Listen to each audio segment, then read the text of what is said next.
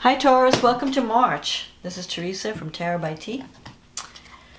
And um, before I start your reading, I want to call in some good energy. And I want to say thank you for everyone who has um, been subscribing to my channel and watching the videos and leaving comments. I enjoy reading all of them. And thank you for those who've ordered readings. Thank you for your support. And if you're new, welcome. I hope you're enjoying these videos. So what's happening for Taurus? We have a new moon in Pisces on the 6th, and that coincides with Mercury going retrograde on the 5th, and Uranus going into your sign. That's the big news this year, Uranus in Taurus. So expect to be shook up. Expect the status quo to change. Lots of changes for Taurus. And then we have a full moon in Libra at 0 degrees on the 20th, and that coincides with the solstice. I mean, the uh, vernal equinox, the spring equinox, the first day of spring. So, we've got a lot of powerful energy happening in March. But at the same time, there's Mercury retrograde. So, it's it's kind of like you got your foot on the gas and the brake at the same time. But, um, but I'll get into the astrology later. Let's see what's going on with the cards. What does Taurus need to know about love and life in the month of March? What does Taurus need to know about love and life? Anything important? What does Taurus need to know about relationships, about love, and anything else important.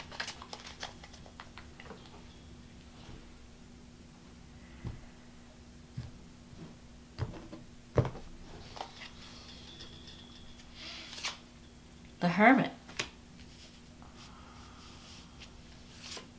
The Emperor.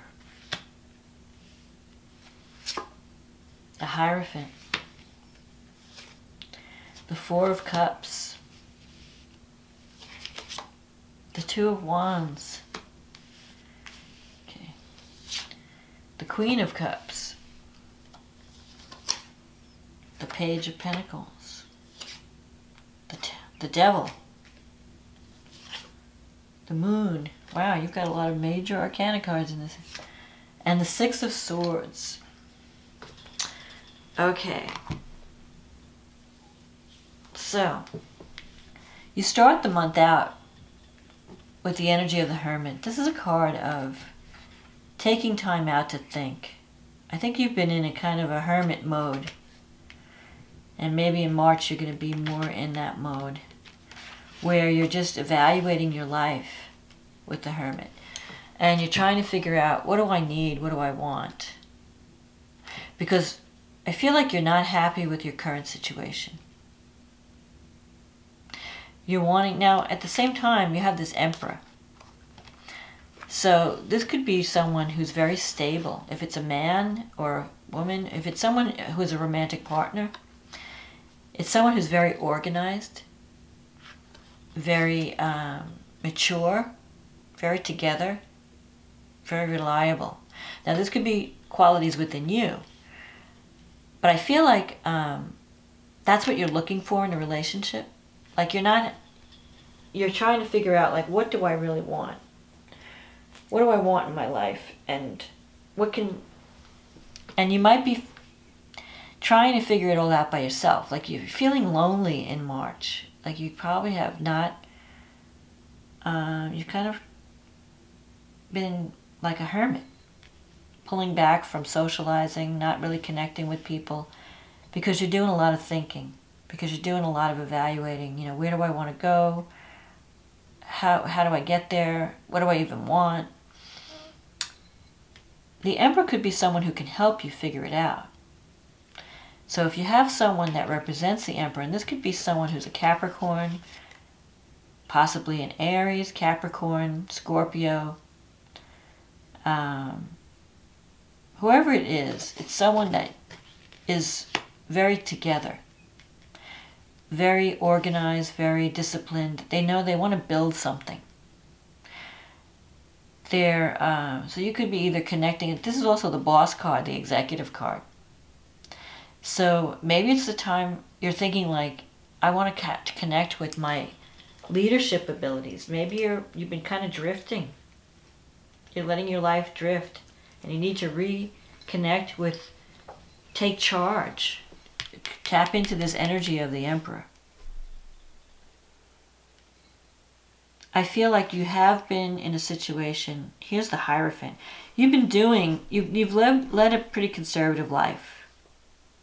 You've been doing what's expected of you, you're fulfilling all your obligations. You might even be either working in a company that's been around for a long time and has very rigid policies and this is also the card of stubbornness. So you're kind of set in your ways. You might be like stuck, feeling stuck. You might be working for the same company for years, or you might be with the same partner for years, and and you're feeling. Um, you have this Four of Cups here. So you're kind of feeling like you're like you're stagnating, like your life isn't moving the way it should that it's the same old, same old. You're feeling neglected, underappreciated, bored. It's kind of like you've lost the spark.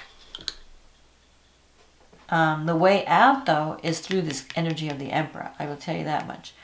But, so here you're contemplating your options. Like, well, you know, what else is out there for me? Because this is not really doing it. I'm not, like, I'm not miserable, but I'm not really happy either you could be happier. You could be excited about life and excited about something. And you're not. And so you're just doing this thinking like where do I belong? Where do I fit in? Where do I what do I want for myself? Something may even be offered to you and you're like, oh, I don't know. It's like you're not really grasping what's out there. You're just kind of sitting around just contemplating. You have this two of wands. So there is a potential for a partnership. But you're not sure you're not ready to take action. Or you haven't been in the past, because the Four of Cups is in the past. With the Two of Wands, it's like you're waiting. You're waiting maybe for someone to contact you.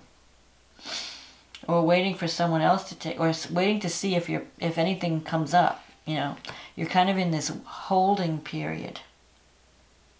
I will say, and you have the Queen of Cups here in the future. Um, this could be someone who's a water sign.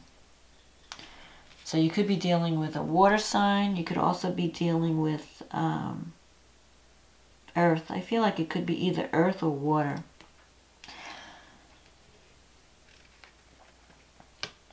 This is a card who, this is someone who's very sensitive, very intuitive. So that could be a friend or someone that helps you through intuition, through some type of psychic ability through compassion. But it could also mean that you have to tap into your own intuition, your own intuitive abilities to see, uh, to sense what's, what direction you need to go in. Because there's a lot of confusion around you. You might even be thinking, Page of Pentacles, like maybe I need to learn some new skills. Maybe I need to go back to school. Or maybe not, even if it's not a formal, you know, college degree type of thing, maybe take some classes, update my skills, but it's in your negative thinking sector. So you're kind of feeling like, well, I don't know, is it worth it? Should I do it? Uh, maybe I'm too old. Maybe it's too late. I mean, you're having all this, I just sense this like defeatist kind of energy. If there is a relationship, someone's attracted to you. It could be someone, um, there's a lot of chemistry. There could also be someone that you're attracted to that could be um, it's almost like an addiction. Like you might be attracted to someone who could be a little bit of a bad boy or someone who has a drinking or drug problem or it could be just a strong physical attraction. Like there's more chemistry. You know it's when you have that strong chemistry with someone you just feel drawn to them. Um, there could be someone in your environment that finds you very attractive and it could be this emperor. But for some reason, you're not reaching out to this person. And I think that the emperor could be really good for you. he represents stability, he represents responsibility, you know, someone who could take care of you, someone you could depend on. But maybe you're still tied to someone because it, sometimes when the devil comes up, it could be like a codependent relationship where you're taking care of someone and you're doing a lot for this person, but they're not really responding, they're not reciprocating. And the moon here, it's like you're you're kind of confused. You're not sure what to believe. You're not sure what you what to think. You know, is this person interested in me? Is, are they not interested in me? Am I sacrificing too much? Is there something I need to know that I'm not aware of? There's a lot of confusion, a lot of um, so you try to make a decision without having all the information, without having all the facts. And sometimes when the moon comes up, you're like your imagination's running away with you. So you might be imagining imagining worst case scenarios and letting fear hold you back from moving forward. You could even be dealing with someone who has is going through some type of mental um, mental issues, or and then you have the Six of Swords here as an outcome card. So the Six of Swords is moving away from difficulty. So I feel that um, at some point in March, you might be moving away from something that has been holding you down and keeping you in this stuck place. And it might be because of this emperor. You might be meeting someone that inspires you to move on someone who gives you either good advice or someone who represents stability. But I think there's fear connected with all this too. Like you're afraid to take action, you're afraid to leave something behind. And you're also afraid to grasp something new.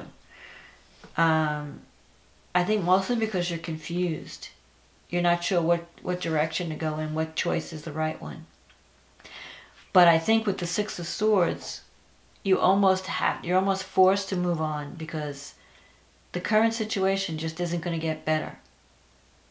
So you have to move on, and moving on is going to lead to um, greater harmony in your life. You're going to be leaving behind all this confusing energy, all this um, lonely um, feeling un- not appreciated just, you know, leaving all that behind. But you have to, and it might involve, you might have to take some classes. This, this is a student card. So if it's a career situation and you're bored in your career, you may need to take up, upgrade your skills a little bit so that you can move on to a better position. If it's a relationship that you're bored in, I think it's going to come to a point where um, Maybe you need help to move on. Maybe you need to talk to someone. Why am I settling for less? Why am I not grasping uh, something that's more stable? Why am I being stuck, being stubborn, not wanting change? I'll tell you, let's look at the. Um, but I think March is going to be a time of change. By the end of March, the winds of change are going to start to blow and you could find yourself traveling in a new direction. And the other thing I wanted to say about the hermit, you may feel like you're all alone and that you have no one to turn to, but you do have people around you that are there for you. You just have to reach out to them. So they're not going to come to you. You have to reach out. And especially this person here, this emperor. There is someone in the wings who is there for you, who's your support who, who wants to see you happy and successful. So don't be afraid to reach out to the emperor.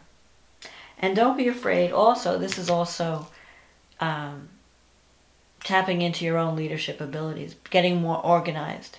Maybe you've been drifting. Just letting yourself drift and you know the years are just passing you by. So you need to really figure out what is it that I want, create a plan and go for it. And don't let fear hold you back. So now for you, the new moon in Pisces is in your 11th house. That's the house of friendship. That's the house of dreams, hopes, wishes, the groups you belong to. Um, Uranus is in your sign. So expect to be, you're going to be feeling this restless energy. Like something's got to give, something's got to change. So you might be forming new relationships, new friendships. You might be joining new groups, something to like bring more life into your life. Maybe you're going to be working for a cause, working for something that helps society in some way. You've got Saturn, Pluto, and the, and they're connecting with the South Node in your ninth house. So something to do with travel and education. Um, you might decide that you want to go and learn some new skills. And it may change your life or, the, or your worldview in some way. Venus is in the 10th house, so there could be definitely some type of romance happening through the work that you do. Um, and it's squaring Mars in the first. So Mars in the first, Mars in Taurus is giving you energy. Now's the time to, you know, get your ducks in a row. Clean out the closet, do, you know, Mercury's retrograde, so you don't want to initiate anything, but you do want to clean up. This is cleanup time. So go through all the stuff, all the baggage, get rid of all your, all the things that are, you know, get organized, get your ducks in a row, go back and tweak things um, get rid of old clothes. Like you know, it's almost like feng shui. You got to just get rid of whatever is cluttering up your life, so that you can make room for new energy. But I feel like with, with Saturn and Pluto conjunct the South Node in Capricorn, you're finishing up some type of karmic cycle. And that's going to um, free you.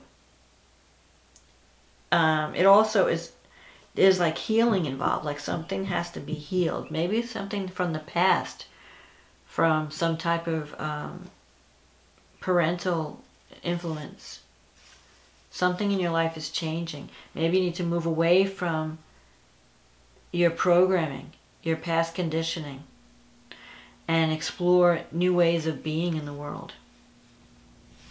The full moon is in Libra. It's cutting across your 6th and 12th house. So something is coming to culmination in terms of a work project, in terms of your health, in terms of your psychological makeup. So I think that you're changing on deep levels. You might even decide to start a new health regimen, like take better care of yourself. You might even decide to um, go into therapy and talk about the things that have always, that you've swept under the rug. you have Saturn and Pluto in your ninth, you have the North Node in your third. So communication is really important right now. I think it's the way to heal is through communication. Now it can be tricky right now because in at the end of the month because Mercury and Neptune are coming together, and they're squaring Jupiter. So you have to be careful with what you hear in March. People might be exaggerating things. So take everything with a grain of salt, including yourself. Your mind, you might be like making a mountain out of a molehill in March.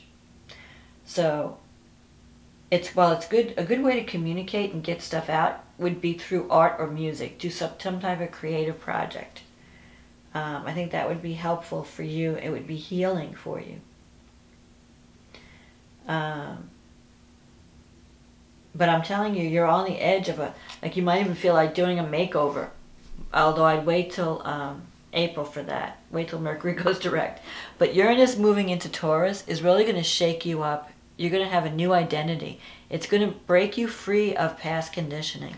It's going to get you out of a rut. If you've been in a rut, it's going to give you like a new, uh, new energy, so that you can release. Like it's going to free you from whatever's been holding you back, whatever's been keeping you stuck. It may just like come like a big wind and just blow it away. Um, but I really feel like this month would be a good time to take better care of you. Instead of worrying about everybody else, start worrying about you and, and get out and socialize more. Don't be such a hermit. Um, your friends are there to help you. So just reach out. Join new group. Get out of your comfort zone in March. It's time to move away. Get on that. Uh, some of you might be moving. Or at least moving away from whatever's been causing you concern. Whatever's been upsetting you, whatever's been worrying you, you're going to be moving away from it. And through communication, you could create greater harmony. Through discipline, through organization, and you know, reaching out to others. I think that will help you to heal whatever's going on within you, whatever's whatever's um, keeping you fearful, keeping you stuck. Don't be afraid to even learn new new things. Don't be afraid to communicate. Don't be afraid to break with tradition and try something new. Because I think um, you've almost kind of given up on some level thinking that your dreams won't be fulfilled, but they can. Uranus is bringing new energy. Uranus is like uh, if you've been living in a prison of fear, Uranus is going to come to break you out of jail and give you a new lease on life. So you're by the end of the month, you're going to be in, moving in a new direction. And it could be that there is some really compelling relationship that's going to stir you to take action. But you have to do something. You have to get off, you know, you have to give, you have to put some energy behind it. You can't just sit there and wait for like Prince Charming to come knocking at your door. You have to kind of meet the person halfway. Um, so, I hope that, um, I hope you enjoy March and I hope you are prepared for Uranus and Taurus. Because um, the thing about this full moon, it's in Libra at zero degrees. So usually by the full moon, you see the truth of in a situation, and then you know what to do. But because it's zero degrees, it's also a new beginning. We've had the past three full moons have been zero degrees. So it's really interesting. It's kind of like the universe is saying, okay, finish up the old baggage, get rid of, you know, clean out your closet, your psychological closet. Get rid of all the stuff from the past that's not working because it's time for something new. It's time for change. And Uranus is usher, ushering in that change. Um, we're on the edge of a brighter time. We're on the edge of a new beginning. Even though it may not seem that way right now, um, because we're still dealing with the old baggage, with the old karma, but keep the faith and be open. This card of being open to the new, Page of Pentacles. Uh, being open to learning new things, seeing things from a new perspective. Don't be rigid, don't be stubborn. Allow yourself to embrace the new, even if it makes you feel uncomfortable at first. And you'll find yourself traveling in a better direction by the end of the month. And don't let your imagination run away with itself and imagining all these worst case scenarios and let your fears get a grip on you. Because fear will keep you locked in a prison. Break out. The door is open. It's time to move. It's time to go. So I wish you luck in March. I wish you success and happiness. And I hope you enjoyed this reading. If you like a private reading, you can click on the link in the description box and we'll be working together. We can uh, I can be more specific. But in the meantime, enjoy March, Taurus, and I will talk to you again next month. Okay, bye now.